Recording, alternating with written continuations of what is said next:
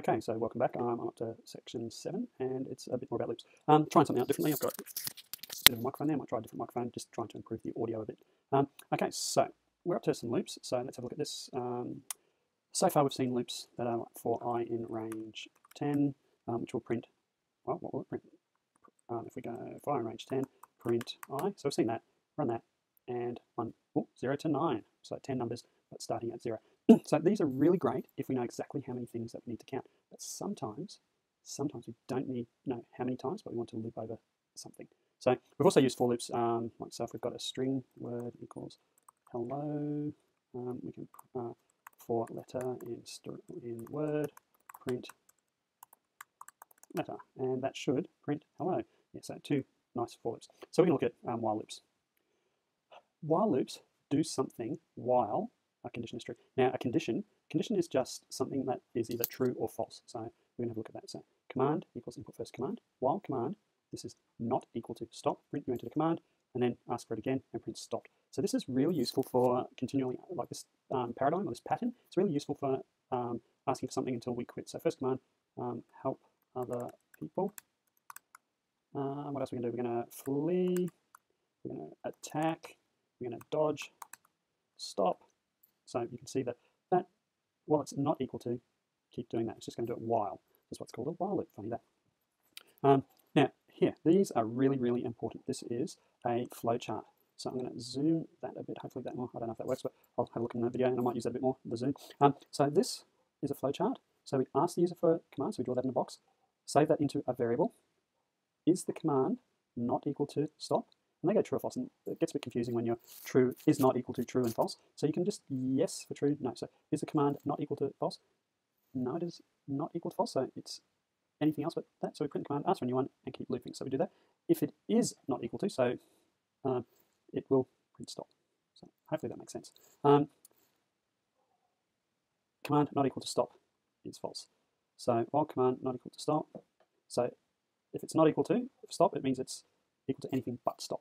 Hopefully that makes sense. You're probably going, dude, you just confused me 10 times more than what I was before, but work through it, follow this logic, see, like, and make sure you understand these. Um, very helpful to draw these out if um, when you're a bit confused. Um, make sure you get your logic right. So many times you write a program and you've got your trues and falses around the wrong way. Um, they can be pretty tricky to get um, right. So here's a few things. You finished before you started. So if you went command equals stop, well, guess what? It equals stop. So it's never going to do that. Um, not setting it up beforehand. While command not equal stop, it's just going to go, what are you talking about? I don't know what stop is. Um, yeah, command, I don't know what command is, sorry. You, so you need to have that variable declared before you start your, um, your loop. So to fix that one up, we would just go and that, fix it up. So yeah, you entered, and then you go. Um, what else are we doing? Oh, there's a few other ones. Um, so just waiting for internet to move on to the next one. Oh, actually, no, we're not. We're waiting for me to enter stop. Sorry about that one. Here we go. Another common mistake with while loops is the infinite loop. You can do this with for loops as well, but while loops. Um, command equals input first command. While command not equal to stop, print that. And guess what? Now, this is going to go fully going to do? It's just going to keep entering fleet because you haven't actually given it a chance to do that. So your interpreter session was terminated because your CPU limit. So that's just a nice way of saying you made an infinite loop. Most modern operating system or most operating systems can start to detect these things. Sometimes, if you depending on language, you will end up crashing your browser or your you'll run out of memory, um, run out of CPU executions, um, and you'll get a nice little message like that. So like we CPU limit. So there you go. And we printed quite a few of them. We could actually find out how many we can do. Um, let's go. We're just working out how many. I, I equals zero. I plus equals 1 u, and I'm going to go print stir i plus colon like that, and let's see how many we can actually do. Ah, oh, sorry, I did the wrong one. So let's run that. Just seeing, so flee. so quite a few, so 200,000, so that's pretty cool. Um, okay, so first challenge for this number seven is um, when your alarm goes off, you can hit the snooze button and fall back asleep. So we're writing a program that won't let you snooze too long. Oh, I hate this program already. So we're going to write a program that should print out meet, meet, meet, and then ask user, are you up, until you enter I am up. So if you says anything else, your program should print meet, meet, meet. So imagine snooze button, you go snooze, it goes beep, beep, beep, beep, and you need to keep hitting say I'm up, I'm up. And then once you've done that, your program prints, took you long enough. Another example, okay, so how would we do this? So we, we're taking input, I am up, so we need a variable, and I'm going to call it sleepy equals, and I'm just going to make it empty. Right, that's what we're going to do. While sleepy not equal to I am up. Now this is the, the pattern that we used earlier. So while it's not, we're going to print, and it's meep, meep, meep. That'll be very annoying. So, and then it's going to ask you, we're going to say sleepy equals input, and we're just asking, are you up? Question mark space, finish. And then, so that there is the loop. And then if we type I am up, it's going to end. And then at the end of the indent block, we're going to print took you long enough.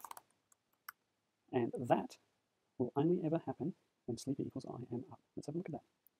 Are you up? No. Meet, meet, meet. Are you up? Yes. Are you up? I am up. So I'm going to type it with an exclamation mark. Took you long enough. so three goes. So let's have a look. Is that correct? What? I was meant to output meet, meet, meet. Are you up? Seems great, except for missing or extra. Ah, took you long enough. Exclam exclamation mark. So remember how I've been going about attention to detail. Pay attention. And you're going, hey, dude, I spotted that ages ago. Stop talking to me. It's a video. I can't hear you. So just chill. Um, oh yeah, I am. Took you long enough. Let's have a look. So programmers make mistakes. So you've just got to accept it, fix them. Um, well, it's exactly the same as what I did before, sleepy. Yeah. So I've got to change a little bit. I want to prove that this is run. I am up. Took you long enough. Mark, submit. Yay, look at that. All tests passed. Okay, so next one along.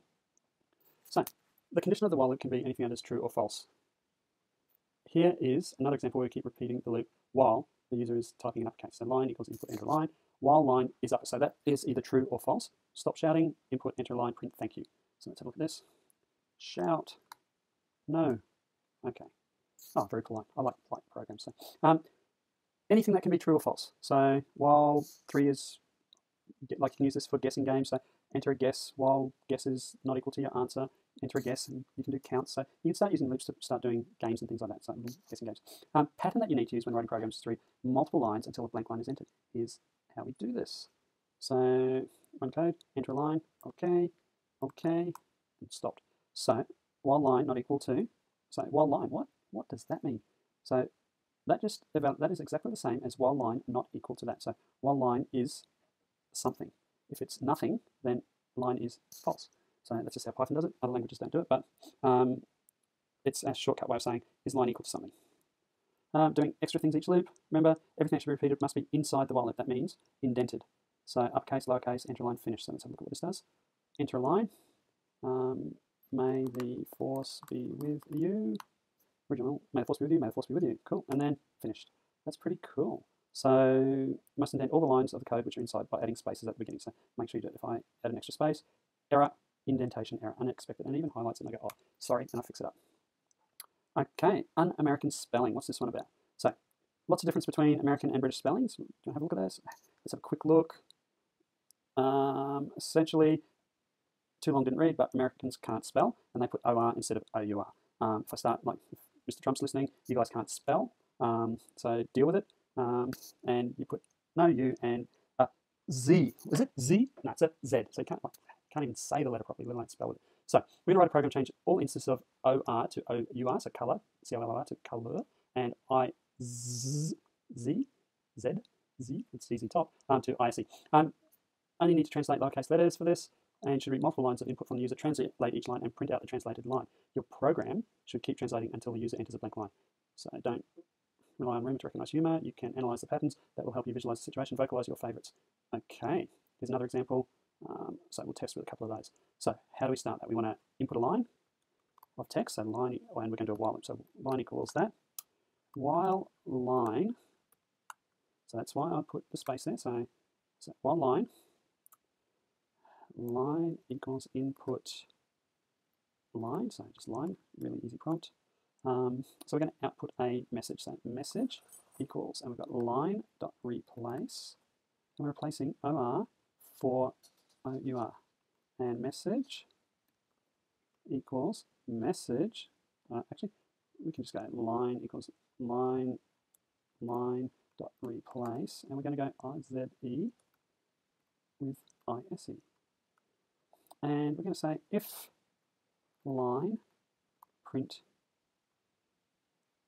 print line. Now, why did I put that in there? Just to make sure that we've got something. Otherwise, we're not going to do anything. So it's just going to stop. So let's have a look at that. Because if I don't put that in there, I'll hit, it'll do something. So let's have a look. Um, and this reminds us to use the replace method, which we did, which we remembered. So let's have a look at this. So the line, I'm going to use this one. Um, don't rely on rumor, recognize. And let's have a look at this one. A citizen. And let's have a look. It stops. That was right. Let's have a mark. Cool. So you could probably have done it a little bit more efficiently, but that works well for me. So moving right along, we've got counters. Sometimes you want to keep track of how many times you do something in while loop. So you've got this thing counter, counter equals counter plus one. What? That doesn't really make sense. What you're doing is you're taking the value of counter and you're adding one to it.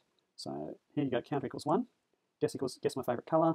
Or guess is guess dot low not equal to yellow. Counter equals counter plus one adds one to the counter, and it says try again, and then you've got it in counter tries. So um, let's have a run of this. What's my favorite color? Red, blue, green, um, what? Ah, yellow.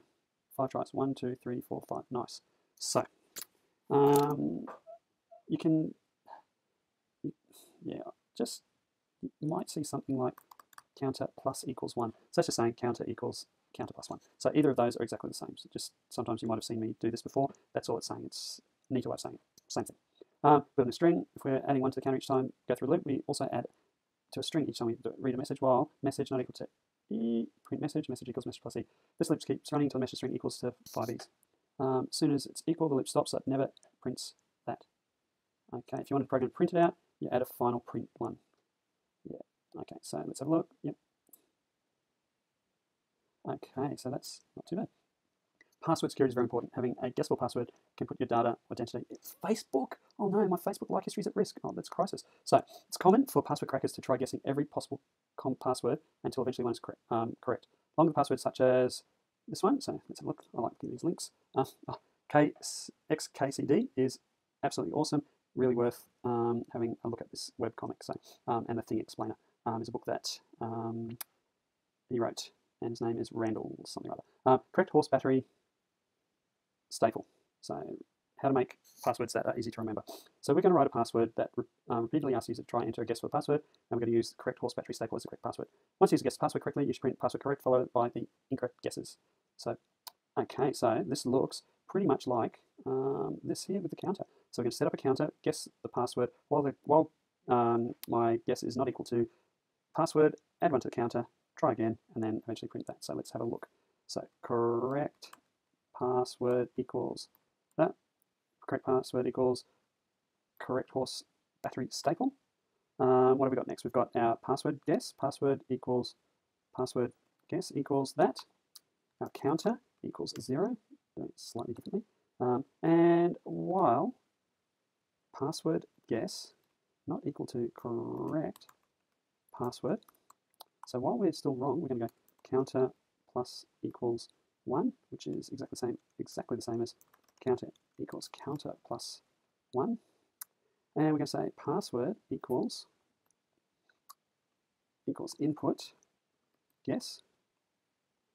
Um, and then we're going to say, um, actually we don't want to print anything until print password correct print you made plus counter, and that's, oh, what have I done wrong? Can anyone guess? Come on, tell me. Plus. There's a couple of mistakes there, um, and I'll pick them up in a second. Okay, so the first one is, I didn't put space there. So that's a counter is an integer, and if I go there, it's just going to go, rah. so I actually have to say, to do this, I have to say string round counter.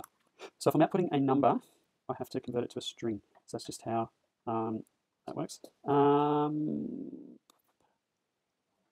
and so made one guess, if, but I'm actually incrementing that. And if I guess it correctly, is it going to be the right amount? So let's have a look. I'm just going to copy this so I don't have to type it out. Copy and paste. So I think I'm going to have to take one off count, but let's test guess. Password, Fred, secret, for, um, what? What is that not doing? I am, so while because uh, I am comparing password to password. Yes, so that is why. So I was saying password equals that password. Yes, so that was an infinite loop, and that was another mistake. You guys are going, stop yelling at me. I'm only human. Like we all make mistakes. secret two attempts. Yeah, that looks all right. Guess Fred, Frank, secret, dog, name, Fido, Fluffy, Fluffu. Seven, so one, two, three, four, five, six, seven incorrect. So I need to actually take one off that counter minus one. So that should be correct. So I'm going to run it and I'm just going to, no incorrect attempts. Let's have a look. That's correct. Except for, what did I do wrong? When was it? Um, correct. Oh, pay attention to detail, dude. Right, so let's run it again. Password correct. Awesome password cracker. Is it failed? Uh, what? Yes, password. You made four incorrect. What was it meant to output? And I am guessing the password. Oh, attention, like you can yell at me now because that was just a rookie mistake. Rookie mistake. All test pass. Absolutely awesome. So let's keep going. Using numbers in while loops. So i equals 0, is less than 3, print i, i equals i plus 1. So um, we can use numbers to make a decision. So here it will print out 0, 1, 2 because it won't do 3 because 3 is not less than 3. 3 is equal to 3. If we want it to print 3 as well, we just put is equal to. So that's something to look out for. It's not inclusive. If we want to include that number, we need the equal sign. Um, stepping through loops, so same as a for loop, we can just add 2 to it. Um, if we want to count in doubles to 20, to 20 inclusive, um, yeah, easy peasy. Um, if, actually, if we want to print out our 3 times table up to 36, so how would we actually do that? We would print out, uh, yeah, oh, yeah, how would we do that? Times table equals 3. So print, uh, we go stir times table times table plus 3, so it's a 3, times by plus, it's messy when you're doing strings, but string i plus equal to, and I'm going to go stir, and I'm going to say times table times by i, close my printing. So can I see any mistakes there? Pluses, plus, um, I've got plus there, let's have a look file i equals i plus 3 syntax, invalid syntax, which means that, ah, string times table, close that one off. So run that, 3 times 0, 3 times 36, ah, plus 1. So there we go, 3, 6, 9. So if I want to change my timetable to 5 times table, there you go. So a couple of things that I fiddle around with there, but so revert it back to its original. Um, counting down loops, exactly the same. We just do a minus and um, just make sure you, how you initialize it. Make sure you terminate it if you don't do something like that. So we'll comment that out and we run that. It's just going to print 6 until we hit stop. And that's a couple hundred thousand times. Um, so back to that. So we've got one more task for this one. When you eat cookies to friend, everyone eats a cookie at exactly the same time. So if you're in a group of five friends, the number of remaining cookies goes down by five each time. Write a program to track the number of cookies left. Unfortunately, everyone is too polite to eat a cookie. If there isn't enough everyone, if this happens, the program should stop and print how many cookies were wasted. So how many cookies, how many friends? You can assume that the input number friends will always be greater than zero. Well, lucky you, somebody's got one or more friends. So how would we do this? So we're going to input two integers. So we know how to do this. Cookies equals integer input, and we say how many cookies. So we've done this so many times before. Remember, we need to close it twice there. That's something I do all the time.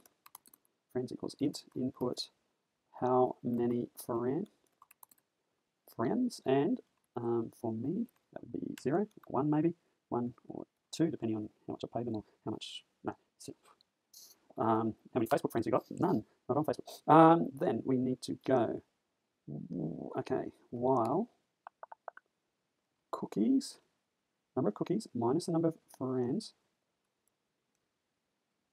is greater than and equal to zero, print there are plus string cookies. Cookies left, full stop, close quote, close bracket. Cookies equals cookies minus friends, which could be the same as minus equals friends. And then we're going to print, it's a, it's a string, cookies plus wasted. And you know, the sad thing is, nobody likes wasted cookies. So we grab the cookies into a string with input, convert it to an integer, and put it into a variable cookies. We grab a string, convert it to an integer, and put it into friends, and we fix up our spelling mistake. While cookies minus friends is greater than equal to zero, so first time round, could be greater than equal to zero, print there are how many cookies left, and cookies equals cookies minus friends, so cookies are, friends are eating the cookies, so let's see if it works. So run how many cookies? 14. How many friends? 3. 14, 11, 8, 5. There are two cookies wasted. And just check that we're doing that. And 8 and 4. No cookies wasted. 123. Two friends. Hey, they'll be fat friends by the time they eat all those cookies. One cookie wasted. And let's see if that works. Yay, it passed. Okay, so let's go on to the next one. Pro tips. Now onto the onto counting. But how is how's this for counting? It's module 8. Time for a pro tip. There's no such thing as a program, one that just isn't working yet. Keep debugging and you'll get there. And computers are really, really stupid and only do what you tell them to. So there's a problem in the code, just try and find it, work on your logic, um, go back, use those flowcharts that were back somewhere back here. Um, use flowcharts, help debug your program. Okay, so we are now up to um, Module 8. So I'll see you for Module 8 shortly. Thanks a lot.